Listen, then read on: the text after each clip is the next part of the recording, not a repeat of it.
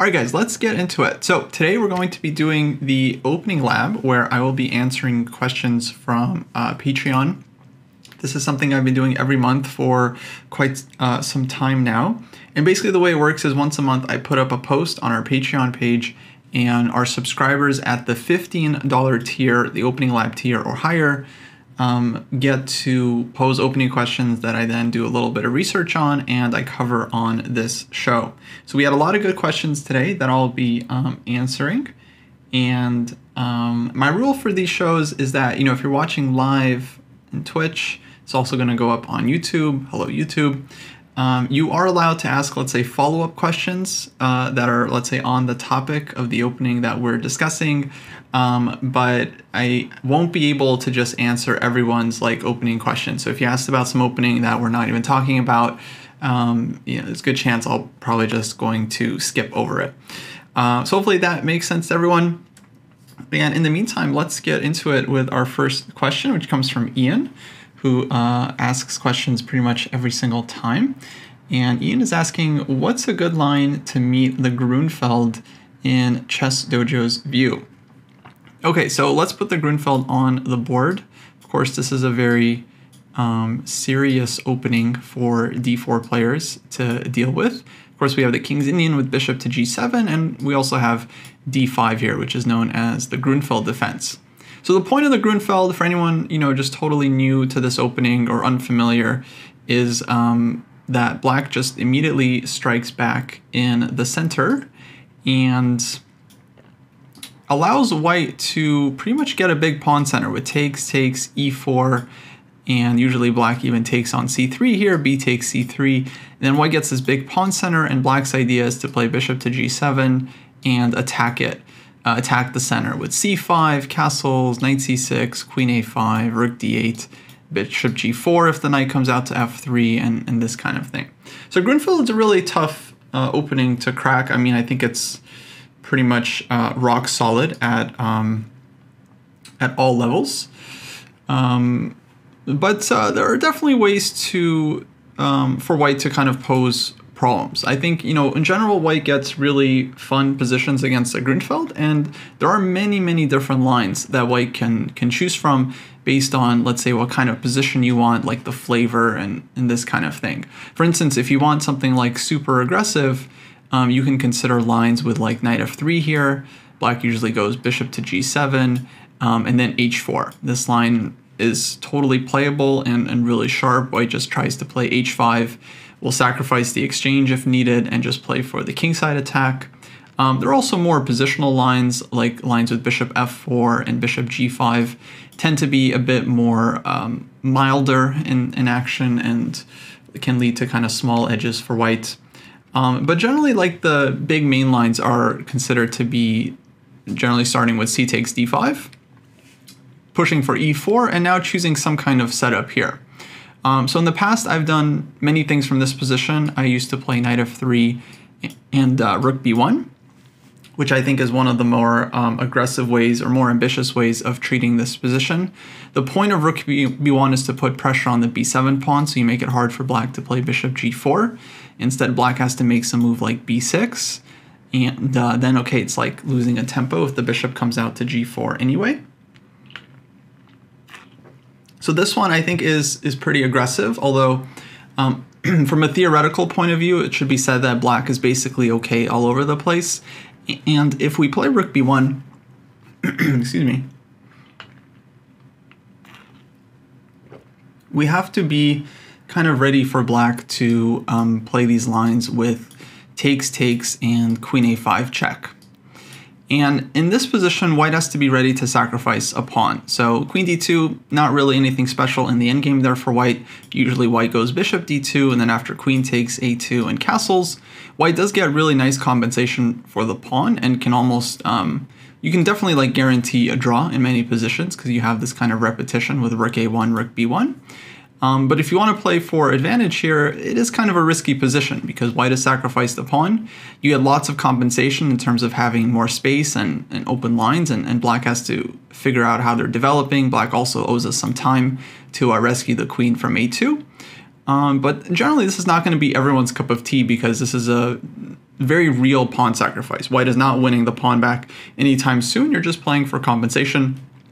It's pretty theoretical. Um, if black knows their stuff, they're they're doing okay here. But um, yeah, this is one that's kind of considered pretty testing. Um, the some other main lines here include bishop c4, um, let's say c5, and then putting the knight on e2. I would say in general, this is one of the most popular setups against the Grunfeld. It's very straightforward for white. You castle, you go queen to d2. Rooks can come somewhere to the center, like b1 or c1, and then other rook comes to d1. And white just tries to use the big center, maybe pushing f4 at some point um, to push on the king side. I think this is a very playable setup as well. The one that I've been um, enjoying myself for the last couple years um, are the setups with putting the bishop on e3. And this is also the setup that um, Magnus chose in a number of games uh, not too long ago. I want to say 2018, 2019. He won some very nice games against um, some Grunfeld players like Mamedyarov. I think he beat Grischuk a couple times. Um, not sure if he tried this one against MVL or not, but basically he, he scored pretty well with the system and it made me really want to uh, investigate it deeper. Um, you can also start with bishop e3 here and then put the rook on c1. There are some subtle differences in terms of the, the move order, but I've always preferred to bring the knight out first and then play bishop to e3. Um, and yeah, the idea here is to develop this bishop to e2, white castles, queen can come out to d2, and then again, rooks come to the center, rook d1, rook c1, uh, for example. Um, I would say this is a very interesting way of playing against um, the Grunfeld. Uh, let's say black castles here, which I don't think is super accurate. A lot of times I get this kind of position. Um, let's say bishop e2, uh, knight c6, let's say we castle, and then black does something like take, take, and bishop g4. And this is just like a sample line, which I think kind of works out in, in White's favor. The thematic move to remember is this move uh, d5. And the point of this one is we're just trying to take space and, and, kick Black's knight off of the center. Black plays like knight a5 or something, then we you know we save the rook. We go rook b1 or rook c1. I think White is doing really well with uh, advanced pawns. Knight on a5, not really a good piece. And if Black takes on a1, the point is we recapture the knight still has to move somewhere uh, like a5, then white just immediately gets the exchange back with bishop h6. There are some lines where white just sacrifices the exchange for the dark square bishop and gets good play, but here white just immediately wins it back. Black has to do something like f6, and then let's say um, takes takes, queen can come back out to d4. At some point black will exchange this one. In this position, I felt is generally quite quite nice for for white. This is just a sample line, but it is a position that I've seen like a number of times because it's kind of very logical from from uh, both sides. And I just like white space advantage. I like this bishop coming to like g4 and e6, and yeah, I think white is doing pretty well. Um, other variations here, for example, after d5, a lot of times black just takes on f3 and goes knight e5 in this case, white just backs up bishop to e2. You put the rook on b1, queen d2, second rook can come to c1. At some point, maybe white pushes f4, e5 tries to kick this knight. And this is kind of white's general plan with this big pawn center is you're just trying to get f4, e5 in. And if you can get these moves in and shut out black's bishop, your bishop comes to f3. Uh, you just get a massive space advantage and well that's how you try to break the Grunfeld. You use your space advantage and you try to uh, squeeze black to death. Um, so this is again just some sample lines, but that's generally what we're uh, kind of playing for. There are of course other ways for black to play the position. Um, I think one detail I'll mention is if knight c6 here, we can't really go d5 because of bishop takes c3 uh, check. So I, I think it's accurate here to start with rook c1. And the point is we defend this pawn and prepare to push d5. And even if black goes queen a5 here with the pin, we can go ahead and play d5 anyway. Um, if knight e5, let's say take, take, queen d2, this is an example of a position that is pretty typical, but I think is very nice for white. Um, we're going to play bishop e2, castles, one day we'll push c4 and f4, and again, just get this massive uh, pawn center moving, and I think that's pretty good for white. And the tactical line here is that if black takes this one on c3, then white takes with the rook, queen takes, bishop d2, and uh, white is going to be winning a second minor piece. So I think this position is, uh, is pretty nice for white, where you get two minor pieces for the rook, and you get this kind of fun middle game to, uh, to play. Uh, so of course, uh, objectively, black is doing fine. I think the main move here is queen a5 in terms of the, the theory, and white usually plays queen to d2. And when you play this line, you have to be ready to enter some kind of endgame that looks like this. We have some options here. You can take with the king or take with the bishop. And um, these endgames, I would say, are quite holdable for black, but um, uh, I think it's not exactly, I mean, basically it's a challenge. White can put pressure here, and uh, I know actually David won a really nice Grunfeld endgame that was similar to this uh, in Vegas. So it's not the easiest position for black to hold. Objectively, I think black is usually pretty solid here, but if you kind of know what you're doing, you, you know of ways of putting pressure from uh, white's point of view. Um, yeah, there are other moves here, like there's bishop d2 and knight d2, but I don't think they're as um, theoretically challenging. I've played knight d2 a couple of times, which I think is uh, kind of an interesting move. The point being queen takes c3, rook c1, and you win back the pawn. Um, so I think this one is totally reasonable, but okay, let's say queen d2 is kind of the main uh, main move white should be considering here. So if I had this position today, I would probably go for bishop e3. I guess that would be my official recommendation. But yeah, long story short, there's lots of stuff you can do against the Grunfeld, and uh, that's definitely not the only line where white is um, trying to fight for advantage. Uh, okay, so hopefully that makes sense, um, Ian. And I think actually I'm just going to finish up on that question and move on to the next one. Uh, okay, so next question is from Laurent, who says, uh, I have a question about a pawn structure that arises in the King's Indian. After the center is closed with d5, black plays f5, and white has two options. Yeah, reinforce with f3 by default, or play e takes f5 followed by f4. Right. I would like some pointers on when, which, when, wait, on which scenario may work well for white, if ever, and I'll add some game references to help with the discussion, but I rely on your KID experience. Um, and then Laurent uh, actually included some games here, which I very much appreciated, so I can kind of see some examples of um, what he talks about. But generally, this is a pretty um, this is a pretty typical thing in the King's Indian. Uh, so let's talk about it a little bit. Um, and let's actually, I'm just going to start with looking at the one of the main positions in, in the classical King's Indian where black goes knight c6, d5, knight e7. And in this kind of position, black is typically playing like knight d7 and f5 and going for the kingside attack. And here white kind of has a big choice. There's like b4, bishop e3, knight e1, um, knight d2, lots of lots of different moves. And honestly, I don't have a great uh, rule of thumb when it comes to dealing with f5. Um, I know that in this classical main line, let's say knight e1, knight d7, bishop e3, f5, white is pretty much exclusively playing f3 in this position, and then we get this typical line where black goes f4, g5, white pushes on the queen side, and um, black goes for h5, knight f6, knight g6, g4, and etc. Um, so um, in this position, it's very uncommon for white to take on f5. Number one, knight takes f5 here is actually really not that bad. There is this rule in the King's Indian that says you have to always take gf, but I don't agree with it. There's many cases where knight takes f5 is perfectly good. Um, this is one of them.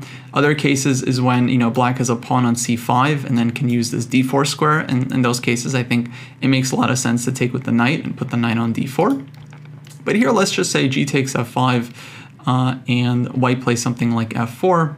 So this one is not as great um, because I feel like black's pieces are kind of, let's say, well placed to deal with uh, this push. Let's talk a little bit about why white tries to do this. What white is hoping for is for black to be compelled to advance e4 because then black structure gets fixed and white can kind of play uh, around it. And actually this knight on e1 is actually very well placed to just go to c2 and go to d4 and then even aim for this very nasty e6 square. This f5 pawn uh, becomes like a pretty pretty bad pawn, I would say, because it's just in the way of all of black's pieces. And black's light square bishop in this kind of structure often feels like a very, very passive piece. So white here gets a really nice blockade, puts the knight on d4, queen on d2, then can continue like king h1, rook g1, even play for g4. And um, yeah, basically white is just in, in total control uh, of the action.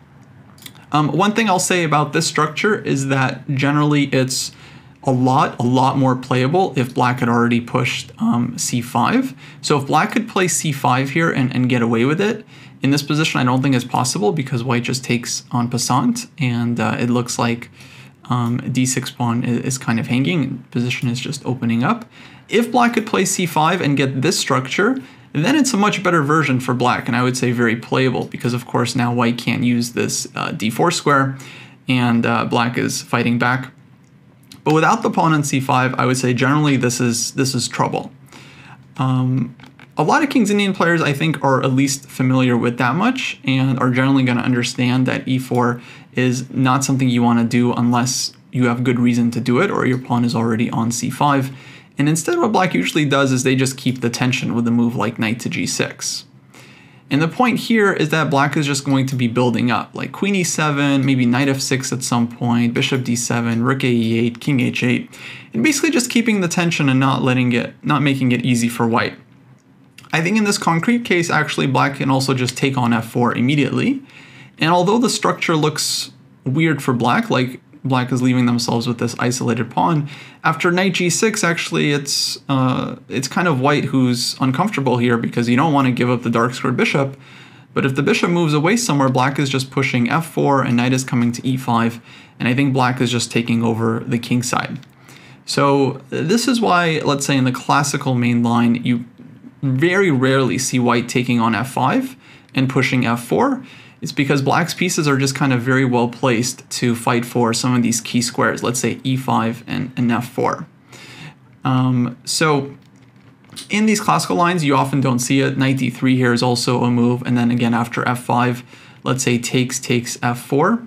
Even here, black gets a tempo with e4. I would advise against doing this for the King's Indian player, because then the knight just comes back, knight e1, and then again tries to go for like knight c2, bishop e3, and White is certainly willing to give up some time in order to kind of achieve this nice setup. Um, instead, black just, I think, should go knight to g6 here, just keep the tension. And again, the point is to just slowly improve the position. And if white ever takes on e5, I think black has a choice here. You can definitely consider taking with the piece. I think taking with the pawn is also um, quite interesting. These pawns on the king side can be quite dangerous. Here, maybe this one is uh, solid as well, just hitting the c4 pawn and um, yeah, just trying to get everything out. Queen e7, bishop d7, rook a8. So in this position, I would say this is really not so great for white. Okay, with that, let's take a look at some of the games that Laurent uh, submitted where white is um, does take on f5, and maybe we can discover um, some differences. So a couple of games where actually I think it was quite favorable occur in the g3 variation. And um, Laurent includes this game by uh, Radek Wojtaszek, a super strong Polish grandmaster. And um, we get this kind of thematic position from the fianchetto variation. Here, black goes f5. And if you know anything about the fianchetto variation, the point is often that white does not want to get attacked on the king side. That's why they put the bishop on g2, because they don't want to deal with this attack. So in the fianchetto variation, I think it is quite common for white to take on f5 uh, and then fix um, black structure. Here he plays h3, knight f6, and then he pushes f4. And the point is to kind of fix uh, the f5 pawn not, black, not let black advance f4 uh, themselves. In here we can see that black's pieces are not uh, nearly as well placed as in the other line. Knight on a5 is of course very misplaced for the kingside attack. And knight on f6 is also would much rather be on g6. So maybe this is a pattern we can kind of uh, think about here, is that black just doesn't really have great um, uh, defenses here on, on the kingside. Now e4 was played in the game. I'm not sure if this move was forced. I think it, it, doesn't really lead to a great position for black. But if e4 is not played, then white is just going to build up with rook a1 next. And it's just going to be actually hard for black to, to deal with this pressure. You know, you don't really want to put your queen on e7 lining up against the rook. It just feels like white's pieces are much better placed for um, this kind of central fight. Um, so in this game, black played e4, and then white immediately plays knight d1, which I think is kind of an instructive move because white wants to put the knight on this blockading square and one day trade off black's uh, strong dark squared bishop. I check with the engine, it thinks rook ae1 is even stronger, which makes sense just to get the rook in first, and then prepare to bring the knight to d1 and e3, and basically uh, white is getting uh, a big advantage here, and I think we can kind of understand why. Even though black has the pawn on c5, White is still just getting a really nice blockade and can one day even think about preparing this uh, g4 break. So this is one example where it really uh, works out for white. And I guess I should say in general, the point of taking on f5 and playing f4 is because you don't want to give black this kind of easy attack on the king side with f4. You want to kind of fix them in their tracks. And it definitely takes the game into a more, let's say, positional uh, territory where both sides are fighting in the center and whoever is better equipped to fight in the center will generally kind of prevail in the battle. Um, let's take a look at another example. There was another game uh, Laurent included uh, played by Ivanchuk, um, where he played this weird knight e2, knight c3 setup, I think with the idea of bringing the other knight to d2. And um, yeah, we get this kind of thing. And here black plays uh, knight h7, castles, and f5. And uh, here white takes, takes. Now one thing I've noticed when I've studied um, King's Indian positions is often when white is taking on f5, it's not always about playing f4. Sometimes white just plays f3 here. And I think this is a move to keep in mind as well as another option. The point of this one is that it prevents black from being able to push e4 so easily because black would lose a pawn. And here if black pushes f4, well, because white already exchanged on f5, then white just drops back and gets this like beautiful e4 square for the knight. So this is a structure where black has to be really careful because white just gets all these light squares and the e4 square is a really nice outpost. Um, so this is also an option, but I think for black, you shouldn't push f4 or e4 too quickly. You should instead improve the position. Queen e7, b6, knight c5, bishop d7, rook a8, king h8, rook g8, etc. You should try to actually just keep these pawns fixed. It's similar um, to a situation with hanging pawns. If you guys are familiar with hanging pawns, usually it's just like two pawns in the center next to each other and neither of them really wants to move because as soon as you push one of these pawns, you kind of create weaknesses in your position. So generally black is trying to just stay solid here, and white is also going to try to stay solid and kind of build up. Um, in the game, Ivanchuk plays f4, and uh, I think black pushed b6 here. Knight f3 was played, knight c5. Now white takes, takes, queen d2, black pushes f4, and then white takes on c5, which I think is pretty instructive, because generally you don't really want to uh, give up your dark squared bishop, but looking at this structure, white is just playing on the light squares, and black's dark squared bishop is just a completely uh, horrible piece. So white gets this diagonal, white gets the e4 square, of course c5 pawn is a big weakness, and positionally white was already just crushing here. So this didn't really work out for black. Instead, I think what black should have done was actually just take on f4, which again kind of looks weird for black structure, but um, after something like bishop d7 and knight c5 and the knight coming to f6, I actually think black is uh, pretty much okay here. e6 square is under control. Black has the e4 square to use for their pieces. Queen e7, rook a8 again uh, can be the follow-up. And uh, yeah, I actually think black would have been doing okay here. Now, it doesn't mean black is better, it just means black is all right. And again, we get this kind of more strategic struggle where black structure looks funky, but black does have some nice squares for the pieces as well. So black has some kind of like dynamic compensation. Um, there's also another game Laurent submitted played by uh, Petrosian and uh, here Petrosian chooses his own system, the Petrosian system, no surprise there. And we get this kind of position. Um, bishop g5, h6 here. And uh, in this game, black goes knight fd7, which I think is not quite right. Knight d2, f5, takes, takes. Again, white could have played f3 here. Um, instead chooses f4. And this one I think ends up um, actually quite quite nice for, um, for white. Uh, here black does take on f4 and puts the knight on e5, rook e1, bishop d7. Um, but I think Petrosian just kind of slowly is able to put a lot of pressure here. And compared to the previous position we were looking at, Black's knight on e5 is just kind of under pressure. I think the knight is better placed on f6 or maybe even g6. Um, and yeah, eventually Petrosian kind of gets the uh, the better of this one. That's kind of a nice maneuver. Bishop h5, kind of forcing the rook, and then going back bishop d1 and putting the bishop here. So this is a very dynamic structure, but with both of white's rooks kind of lined up, it's one that's kind of difficult for black, because as soon as black pushes f4, white is just going to take on c5 and dominate uh, the light squares. So what should black have done in differently here? Well, I think this knight d7 move was a bit odd.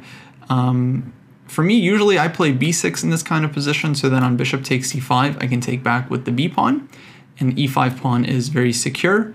Um, and then I think knight h7 is actually a better way of getting the knight out of the way so that the bishop here uh, is opened up on the f5 square. So for example, king h1, f5, um, and here after takes, you know, black could even take with the bishop. I would say this is kind of like an undervalued way of playing the position, but um, honestly, it's not so bad. Like 94 takes, takes, knight f6, and uh, I mean, a lot of times it, it, feels like white is just getting the e4 square, but I think black does get uh, quite a bit of pressure here. He can go queen d7, um, rook a8, and uh, yeah, eventually just like trade, put the queen on f5, and I think actually it's quite solid for black in, in many cases. So I don't think white really has um, a serious advantage there maybe even no advantage whatsoever. So, okay, long story short, um, you generally don't want to take on f5 in the classical lines because it feels like black's pieces are kind of well placed for uh, for those structures. But as we saw, when this knight is like on a5 or on c5, actually not so close to the e5 square or the king side, um, then it actually does make sense for white in a lot of positions to take on f5 and uh, and play f4. So kind of fighting back on the king side when black's pieces aren't so um, so placed, uh, so well placed for that. Um, yeah, I only says I like they like the Makogonov variation of playing when you play for h3 g4. Yeah, so when white plays the h3 lines and we get something like this, yeah, here the whole point of this variation is to be able to meet f5 with gf5 and then open up the g file and sometimes ef5 as well to open up this diagonal. This is a little bit different story because here white is not really following up with f4, but um, yeah, this is definitely a position where white's whole idea is to just take on f5 and open things up and fight on uh, the king side. Um, okay, Laurent, I hope that answers some questions. Again, I don't have like a hard and fast rule, you know, always take on f5 in this kind of position. I think it's one of those things that's really like a case by case basis, um, but hopefully something in there was uh, was useful. All right, with that, guys, let's move on to the next question. Okay, next question comes from Steve, Steve Sladen. Shout out to Steve. And uh, he says, Hi Kostya, trying to learn how to play better against the Caro. I prefer to get my pieces out, so the classic uh, is my preference. I've tried the advanced with poor results. Let's put the Caro-Kann on the board. Any thoughts on how to fight for an advantage in the main line for bishop f5 as well as in the Tartakower line? Or should I learn to play something other than uh, the classic? Thanks, and by the way, your help with the counter to the English attack really helped. I'm getting much better results. Yeah, glad to hear it, Steve. Glad to hear it. Um, okay, let's talk about the Caro-Kann. So the classical line that Steve is referring to generally goes like this, takes, takes, and then here black has bishop f5. And then he mentions a Tartakower line, which actually I'm not familiar, but I assume it's this move knight d7 because this is pretty much the uh, only other, or maybe he means this move, knight um, f6. Nowadays, there's actually three three ways that black can play this position. There's bishop f5, which is kind of like the classic main line. There's knight d7, which is um, quite solid, where black tries to go uh, knight f6. Here, of course, is very, very, very famous trap with queen e2, where if black goes knight f6, there's knight d6 uh, meet. And um, and there's also the modern lines with knight f6, where after knight takes f6, black can either take EF, which is very solid, or um, GF. Okay, chess.com is telling me EF is the Tartakower variation. Okay, so this one. Yeah, this one has become like all the rage uh, lately, and it's surprisingly solid. We used to think about these positions that they were not good for black, because black now has like double pawns and has four versus three on the king side that can never make a pass pawn in the endgame, whereas white has a healthy majority here. So generally speaking, like the strategy for white in this kind of structure is to just trade off all the pieces and then win the king and pawn endgame. And so if you find yourself here, that's kind of a good strategy to, I think, to play for in the long run. Trade everything off, get into the king and pawn endgame, and if uh, you're able to do that, then you get to play this um, structure where you just get to make a pass pawn. Your opponent isn't able to make a pass pawn with these double pawns, and strategically it's it's almost decisive. Um, but the modern outlook on this position is that well simply we're very far from an endgame and black doesn't have to allow it and black's position is actually uh, pretty solid here not that white can't fight for an edge but just that black is is not doing as worse uh, as bad as we used to think um, there's also gf6 which I would say is pretty uh, pretty adventurous um, so, okay, I'm not a huge expert in, in all these lines. I would say generally even the bishop f5 lines have long been considered to be uh, very, very solid for black. So what I would recommend against the, the Caro, of course you can play this one, and my main suggestion here would just be the very simple, you know, study the games of players who play this variation and, and try to see what they're doing. Usually white's plan is to like first throw in h4, h6, and then let's say knight f3 uh, here, e6, h5, bishop h7, bishop d3. You know, the bishops come off, and then white tries to play like bishop d2 and castle queenside and play for the kingside attack. But I think in general, these positions are quite solid for black. So I think if you like it, you can definitely play it. It's very, very playable for white. But um, personally, against the Caro and the line that I chose uh, in the e4 speed run was the exchange which I would actually suggest because I think this is a very simple approach and I feel like it's not that easy for black. So specifically, here's a setup that I would recommend. You take on d5 and you go bishop d3, and basically white's point is you're delaying knight f3 uh, for as long as possible. So usually black plays knight c6 here, we play c3, knight f6, now if white were to play knight f3 in this position, you get pinned with bishop g4. I think black gets a comfortable version. So instead, a lot of players have been choosing this move bishop f4. And the point is that you're just developing a piece. Now black has to move something. You take the e5 square under control, so black can't really hit you with, um, with e5, anything like that. And now black has to make a choice. If they play, let's say, e6, well then their bishop is blocked in. You can now safely go knight f3. And I would say this is a structure where white can definitely fight for a long-term strategic advantage. The plan here is just to use this e5 square. So let's say like bishop e7, castles, castles, knight d2. White just wants to go rook e1, queen c2, or maybe queen c2 first and then bring the other rook to e1. You can double on the e file. Um, and then eventually just playing knight e5, knight f3, just using this e5 square and one day looking at the king side. You know, even like a rook lift, rook e3, rook g3, rook h3, definitely not out of the question. So if you can get some kind of structure like this, black's plan is usually to play on the queen side. So the rook comes to c8 and black tries to push like b5 and b4. It's kind of slow, it's kind of hard to achieve. And once black plays b5, you know, you can play a3 as white to kind of slow them down. And essentially, I kind of like white's position more here. I just like this e5 square. I think white gets a really nice grip. So this is kind of one idea. If black plays g6 here, well then the bishop is often going to g7, and I would say the bishop is simply uh, not as good here. Um, so I think at this point you can play knight f3. You can also like start with knight d2, for example. Let's say bishop g7, knight gf3. And here, okay, black gets to pin, but the difference is that when white plays h3, now the bishop doesn't have like bishop h5, bishop g6 like they would in the other line. So here the pin doesn't really make a lot of sense. Black has to like give up the bishop. I mean, uh, most players don't do this at this point. They might even play something like bishop f5 here, but it kind of just shows the point of white's position is that you're just not really afraid of this pin anymore. You just kick the bishop and then bishop h5, g4 is of course unplayable for black.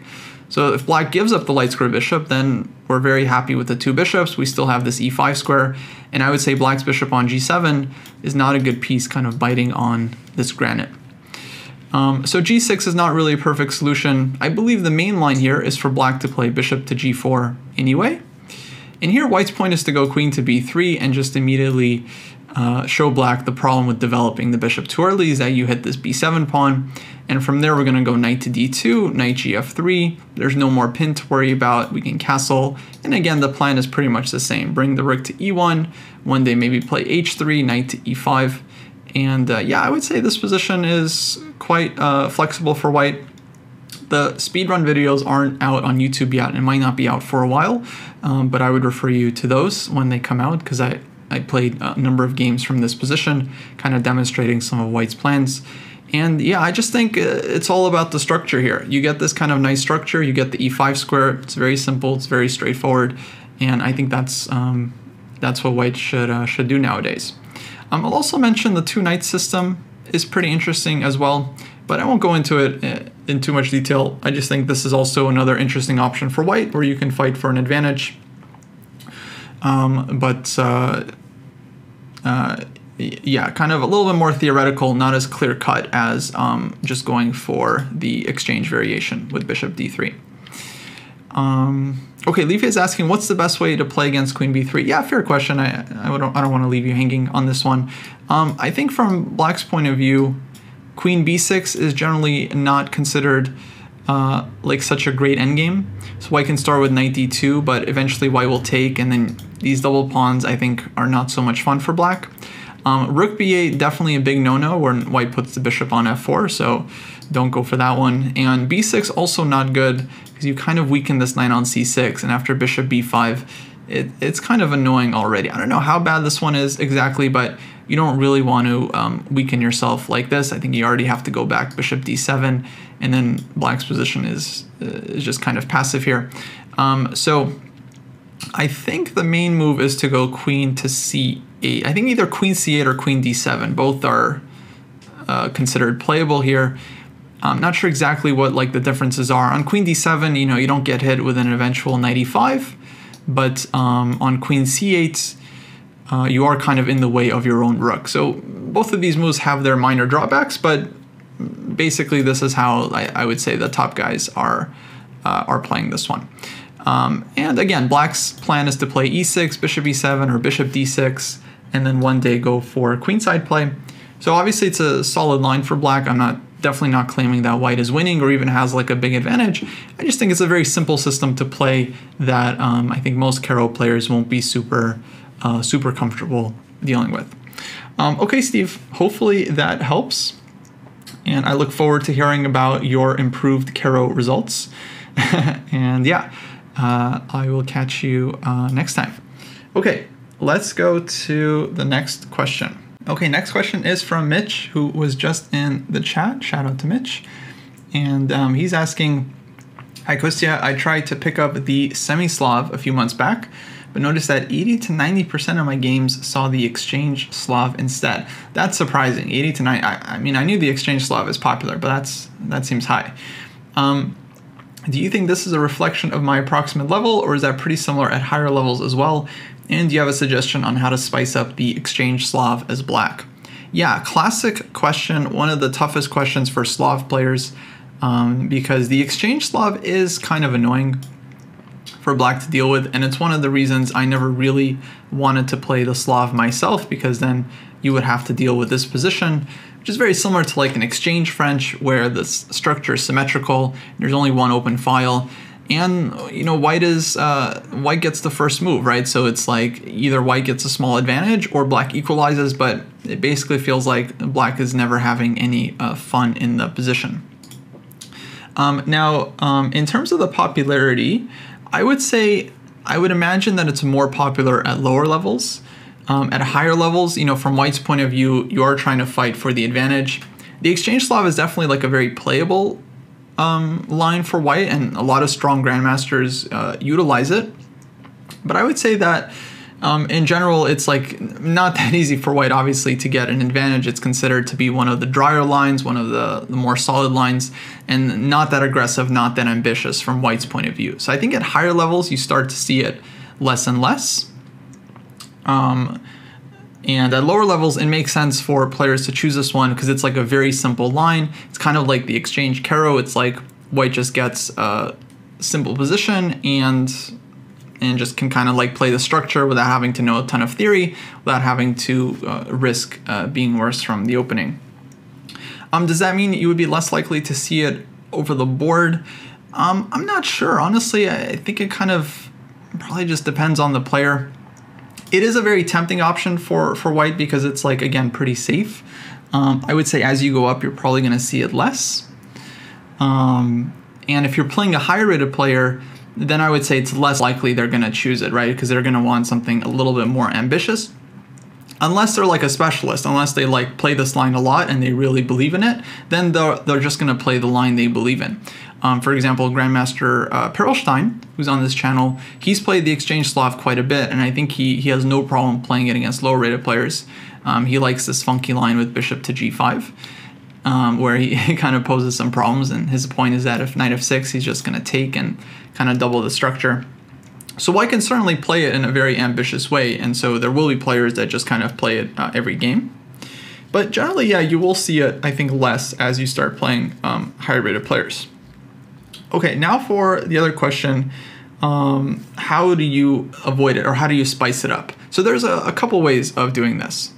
Um, if we just take the exchange Slav, so let's say we start with uh, this position, for example, knight c6, bishop f4, and you're trying to figure out what to do here. So like bishop f5, bishop g4, a6, these are all kind of like very solid lines. The one line I know of where you can get kind of a fun position is um, g6. And the point of this one is to take the game into kind of like Grunfeld territory. Um, now your bishop is not really going to be good on g7, right? Because white just plays e3 and your bishop is again going to be hitting kind of a brick wall. But it's uh, not as much of, of, a brick wall as when the pawn is on c3.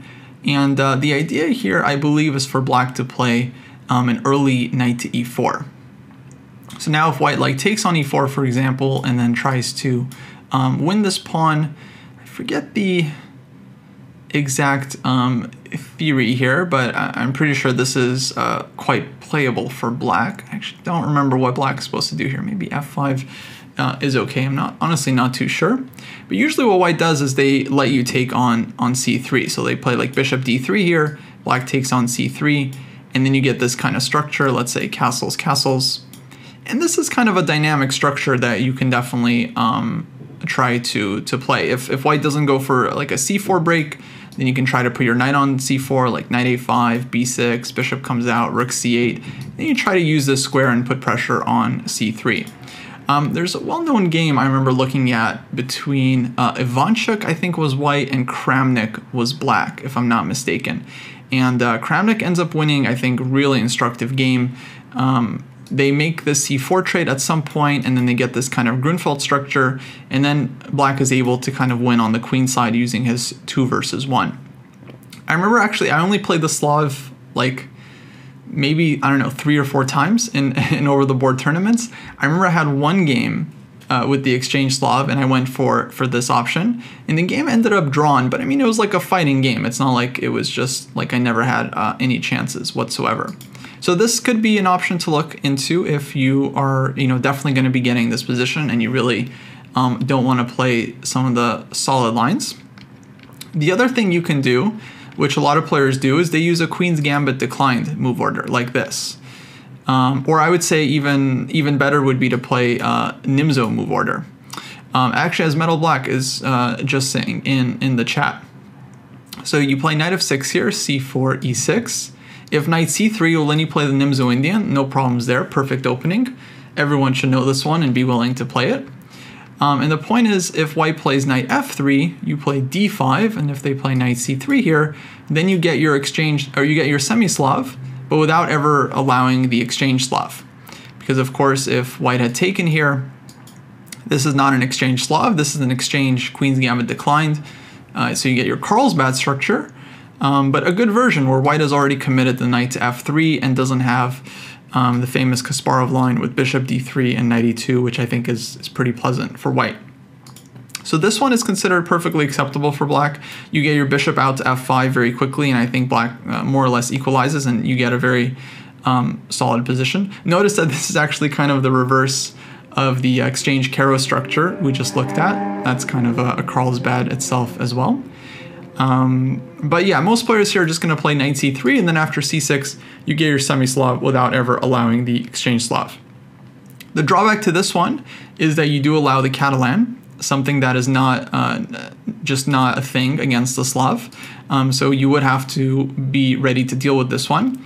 And personally, I'm not really sure if it's worth it to to make this trade because I mean the Catalan is like a very serious opening, and uh, it's not a ton of fun for black. Like usually you have to defend a somewhat passive position, or if you want something you know adventurous, you definitely have to know what you're doing, and, and you are taking on a lot of risk. But that's kind of the the trade-off you're making. Either you allow the Catalan with this move order, of course the Nimzo, but I think the Nimzo is not a problem, so I wouldn't worry about that. Or you allow the exchange Slav with, with this move order. So that's another thing you can do. Um, but the third and final thing I would suggest, and this is honestly, I would say, the main way of solving your opening problems when you're not really sure uh, how to play something, you know, for a win with black or how to generate chances or, you know, just how to do it. What I would suggest is um, taking this position after CD5, CD5. I know, Mitch, you have ChessBase, so this advice is hopefully useful for you. And uh, search the database and, and specifically uh, apply some filters. And, so here are the filters that I like applying when I want to find like interesting options for black. Um, so number one, you want to find games where black won. That's not totally necessary, but it's nice to look at games where black wins. And um, I think you want to choose players that are uh, up to a certain level. Because if you look at like the, the top players, like the 27, 2800s, they're not trying to win with black in most cases, right? They're just trying to hold and, and be solid. So the players that you want to study are the players that are like 2600, 2650, 2500, really, really strong grandmasters that are playing in open tournaments, that are playing lower rated players that are definitely trying to draw them. And so you basically just want to study how these guys do it, right? Because there's lots of Slav players out there, and the exchange Slav is not a new thing. And so every Slav player has to deal with this one. And uh, the advice here is just to look at how the grandmasters uh, play this one, especially when they're playing against lower rated players. So in ChessBase, you can search for specific ratings. You can say you want, you know, neither player to be higher than 2600 or 2650, let's say, and um, you can also uh, apply a difference in the rating, meaning that it'll only show you games where there's a difference in rating according to what you set. So for example, like just before this, you know, I did a test. I looked for games from this position where there's a difference in rating of like 200 points. And then there was like a bunch of games, right, where, where black won um, and there was a 200 point difference in the rating between the players. Usually, White was the lower rated player, but there was also there's also some games where White was the higher rated player and ends up losing. Probably not. Uh, I mean, maybe interesting to look at, but might not be the most uh, instructive. Who knows? Um, and so, yeah, basically, you just want to find a bunch of games where a 2500 GM is outplaying a 2300 GM. Study those games, and you'll kind of learn, you know, how they how they approach these positions and how they win. I mean, long story short, it's a very solid position, right? So the only way you're going to win this one against a decent player is kind of by like slowly outplaying them in some kind of long positional struggle, maybe winning some endgame. Um, you can also set uh, the search to have games with only a certain number of moves, right? So maybe you only want to see games where black won in under 30 moves, you know, just to see like, well, how does black win this, you know, quickly? Like, what could go wrong for white that white loses in, in under 30 moves? and okay, you just go through the games, you study them, and you know slowly you kind of pick up um, the, the, the style and, and the tempo and, and what what are the typical things that players um, try to do.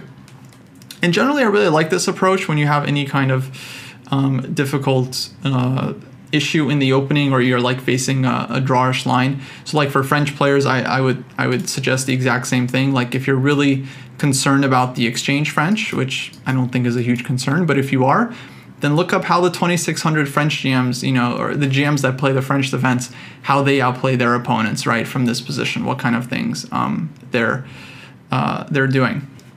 But ultimately, you know, again, it's going to be very quiet positions and it's going to be a quiet positional struggle.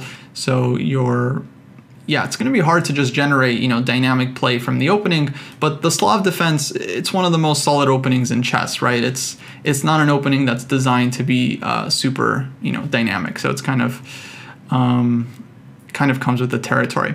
And last thing I'll say is, yeah, just don't worry about it. You know, like let's say you get some game, someone plays Exchange Slav, and you know, if it's solid, you make a draw. Like that's just one draw, you know, out of uh, you know, out of a couple of games. It's like next game you'll get white and you'll crush them, right? So it's like if you make some draws with black, uh, even against lower rated players, I don't think it's really the end of the world. Um, but I would also say, you know, at this level, 2000, 2200, it's not like you're just not going to get any chances uh, in these games. I think the players you're playing will definitely give you chances in the long run. Um, okay. Uh, so hopefully that was useful. And yeah, let's go to the last question. So last question here is kind of a more uh, general one from uh, Mr. Always Double Check. And uh, Always Double Check is asking, okay, in this video, Gata talks about why he first started playing the London. There's a YouTube link. Uh, the part I'm wondering about runs from 30 seconds to two minutes, if I'm understanding correctly. He is saying he often got worse positions with white and started playing the London because he was looking to play black defenses with colors reversed. In my own games at the amateur level, I play d4 c4 with white and e4 e5 and d4 d5 with black. I too am often dissatisfied with the positions I get with white, and I'm much happier with black. What are your thoughts about Gata's take on the London, and how can I construct my white repertoire so I'm happier with the positions I get? Okay, really, really interesting question. Um, I, I checked out the video linked, and indeed, that is kind of what Gata mentions. Essentially, he's talking about this uh, period of time back in the 80s, actually, it's like late 80s, 1986, where um, with uh, with Black, what he mentioned was that he was playing this variation against the uh, the Reti, which is essentially uh, reverse London. So he was making he was playing this kind of setup against uh, the Reti and and having good results. And with White, he was essentially losing uh, some games because, according to Gata, he didn't know the theory and yeah, has you know just getting sharp positions where he I guess uh, you know is getting outplayed or is not sure what he's doing, and he decided well like if I like that setup as black, and he's also you know uh, he's been also been playing the Slav for quite some time. Um, then why not play this with, with white and, and play the London system with basically the same setup but with uh, an extra tempo. And it is quite a logical thing um, to do. Um, and if you wanted to do something uh, similar, but well, number one, I mean, you can definitely play the London. I mean, I, I think it's a very controversial opening, but the real problem with the London, uh, as I made a video about it, is the mindset, right? If you're playing the London or any opening, where you're just making the same moves without really thinking about what the opponent is doing, and just kind of playing on autopilot, then that's not good for your chess. You're just going to get the same positions over and over again. You're going to lose to stronger players. You're going to beat weaker players, and you're just going to kind of stay uh, where you're at. That said, there you can play the London in an ambitious way, where you're trying out different structures and different setups. Like in the video that um, is mentioned, Gata shows a game where he plays the London and he ends up castling queenside. So like if you're willing to experiment with different setups within the London and, and try uh, to play it in different ways, then it's uh, 100% uh, a fighting uh, opening, and you can absolutely uh, play it, especially if you enjoy the positions um, that you're getting. Um, and again, the same goes for any kind of system opening. The Colle, the Torre, uh, the close Sicilian. There are correct ways of playing the opening and there are incorrect ways of playing the opening. And if you're just playing it on autopilot, that's probably not good for your overall chess development. Okay, so um, the question is, how do I how do I get better positions with white? Well, one thing, you know, given that you're playing e4, e5 as black and, and d4, d5, uh, I'm not sure if you're going for the QGD or the Slav here or what. One thing you can do as white, as just an experiment, is you can play a3. And then just pretend you're playing black with this move inserted. And it's honestly not the craziest thing uh, in the world. I mean, uh, some GMs, you know, will play this in Blitz. I don't think there are any, um, I don't think there are many GMs playing this in like, you know, classical over the board games. but it is something you can at least experiment with. Um, because the point is essentially you're it's as if you're playing black and you get this free move a6, which is useful in almost every opening. You know, for example, like imagine you get to play this position with a6 inserted, and you don't have to worry about the Ruy Lopez anymore. right? So if you're really interested in just playing your black repertoire as white, I would say this is the way to do it. Start with a3 and then pretend you're playing black, right? So d5 you go d4, e5 you go e4 and you just make the, the same moves. Now it doesn't mean you're going to get an advantage with white. For sure black will equalize in all these lines, but maybe you'll feel a little bit more comfortable. And here a3 is also uh, again, very useful to in pretty much any opening to, to cover this um, b4 square, or from black's point of view, the b5 square, right? Like in d4, d5 in the Slav position, you know, a6 is a move, so much so that sometimes like a6 is a move here, right? Where black just spends a tempo to play a6, right? Or here, also a6 is a move. So you get this move for free. It's totally legit, or in the Queen's Gambit declined. Um, a6 is not like the most useful move, but a6 is a move here that Magnus has played actually a number of times. So like if you're willing to play this position with black, it's certainly not bad with white with uh, a tempo up. It doesn't mean you're, you're going to get an advantage. It just means it could be an interesting position for you to play. So that would be what I recommend if you really want to go this route and uh, and just play your black openings. And it seems like there's a few players in the chat that are uh, yeah, not so happy with their white openings, but do like their uh, black approaches. Um, another thing to do, you know, if you're a Sicilian player, you can play the English and just pretend like you're playing the dragon, but with an extra tempo. Or, you know, you can play like e3, knight c3, knight f3 here. Uh, that's totally fine.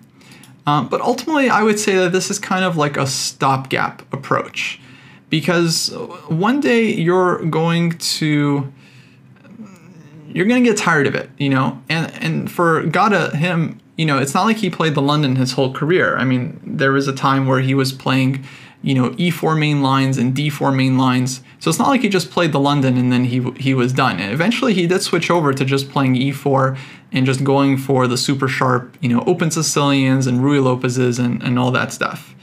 Um, and so what I would say is like in the long run, what I would suggest is to think about what kind of player you want to be. Right? So if you want to just be someone that's playing, you know, like weird opening systems for your whole career, I mean, that's fine. But like if you think about some of the top players and there might be a player that you really admire, I would say it might be worth to put in start putting in the work now and just start slowly building out your repertoire. So ultimately my suggestion is like if you want to just play A3 and experiment, that's totally fine. But I would suggest choosing a top player that you really like. You like how they play with white. You know, you can choose uh, Magnus, you can choose Aronian. Um, so I, am like pretty much a D4, C4 player for the most part. I've always liked the games of Levon Aronian and Vladimir Kramnik. I think they play some really interesting chess. Um, Mamedyarov is another one that plays D4, C4 in like really uh, aggressive ways. Um, Loek Van Wely, uh, just throwing a random name out there, just a strong grandmaster, you know, was 26, 2700. Um, excellent D4, C4 player. Choose a player you like and, and just try to model your approach after them. Or switch to E4. You know, if you've always wanted to play E4 and, and never had the guts, I mean, what do you have to lose, right? It's like it, it might take a while to learn these positions, it might take several years before you feel comfortable. But uh, chess is a game where you should be thinking about kind of like the long term approach. You know, what kind of player do you want to be in two years' time, in four years' time, right? If you're looking back at yourself now, like in three years, how do you want to have spent that three years' time?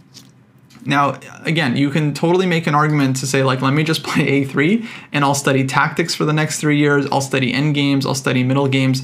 I'll just become a stronger player. And then one day you'll start studying openings. And I think that's totally fine. Um, or you can just start today trying to get more experience in the positions that you actually um, want to, to play. Now, maybe you're a very strategic player. You don't want to um, you're you don't want to like play all these like aggressive lines where you're um, fighting uh, you know always playing for the attack and taking on a lot of risk in that case i would say the english is a very interesting opening where it's definitely more positional it's no less ambitious than d4 and c4 it just takes the game into uh, different territory and um, you can learn some lines uh, with C4 and G3 and, and, study some games. You know, of uh, Ulf Andersson, Yasser Seirawan, Karpov, Magnus Aronian. Um, these are all guys who played the English for at some point in their careers and, and did pretty well with it. You know, with, with some um, really uh, decent decent results. So what I would say is, I guess ultimately, don't look at the opening as something you know you have like you're just learning something for one game or one tournament think about the openings as what you want to study and and improve in in the long run right? Like if you can study any opening for six months and become a beast at it you know what would that opening be? I think that's the question you want to ask. And um, once you choose that opening that kind of like inspires you whether it's to play e4 and super aggressive whether it's to play d4 and, and play aggressively from here or to kind of play in a more positional way you can play e4 in a positional way as well. Here, I would suggest studying the games of Magnus, who can be quite strategic, and uh, of course Mickey Adams, who is also, um, I would say, very, very solid, very positional uh, E4 player. Really instructive player to study, in my opinion. Michael Adams from from England. Um, there are lots of amazing players to to choose from and, and follow their approach. So ultimately, that would be my advice in terms of how to actually one day get to a position where you are happier with your overall white uh, white repertoire. Uh, okay, hopefully that was uh, useful, and I look forward to seeing uh, what you come up with. Let me know what you choose. You know, I'm actually really curious um, what you end up deciding. But that's my advice: choose a player, model your approach after theirs. Just take a look at their games, play all the same lines they do. Of course, it's going to be a struggle at first and there's lots of opening traps you might fall into but but that's chess you know like you you learn from experience and you know you lose some games online it, it doesn't really um, doesn't really matter uh, ultimately um, because uh, it's all about the long term right? So you lose some games now but in the future you'll be a much uh, much better player for it. Okay guys well that's to wrap it up for uh, the opening lab here. Um, yeah, like I mentioned, I mainly just answer the questions that are submitted through uh, Patreon, and I'm okay with uh, follow up questions just on any of the specific openings that we uh, discussed. Um, but uh, yeah, I'd encourage everyone to. Uh, well, check out our Patreon page, and if you would like to submit questions for the future, um, you can do that as well as getting access to uh, a lot of previous content that is exclusive to Patreon. I did a bunch of articles and videos for uh, for the the page uh, a while back that you now would get access to, um, and again you get to ask uh, questions for the future. Um, so yeah, that's gonna wrap it up for this month's opening uh, lab. Okay, there's one question I'll answer. What is a white version of the Caro and Slav? I mean, I don't know. These are defenses, right? When we're playing white, it's like we're trying to fight for the advantage, and we're playing when we're playing black, we're trying to get an equal game. So it's not really there's not really a one to one. Uh, let's say one to one. What am I trying to say? One to one equivalent, right? There's like yeah, the Colle system, right, where we're playing like d4, e3, c3. Like you can just play like the reverse of whatever you're doing but I don't know. I think this is ultimately kind of a timid approach. And you're probably going to want to switch in the future anyway, away from it. So I'm not sure if there's a lot of benefit to just playing like a super, super timid, solid opening if you're just going to you're just going to be in the same position right in six months where you're like man i'm tired of this i want to play something more aggressive and you're still going to be starting from scratch so why not start from scratch today rather than in you know a year from now that's that's my advice um, okay, guys, that's going to wrap it up for uh, the stream. I think I'm going to close things up. Thanks to everyone for uh, following and for a couple of the subs at the top of the show. Much appreciated. Um, let's see, I'm going to be streaming again tomorrow. I think I'll be doing uh, a one on one lesson. And um, yeah, I don't know what the plans are for the rest of our, our streamers. David might be around, he mentioned at some point, maybe tonight, who knows. Uh, Jesse will probably be back at some point as well. And uh, yeah, oh, and I'll be doing the US Chess School uh, lecture on Friday, so stay tuned for that. That'll be pretty exciting also. Um, alrighty. yeah, that's gonna wrap it up. Let me find someone uh, to raid, and we will close out the show. All right, y'all. Have a good one. Take care.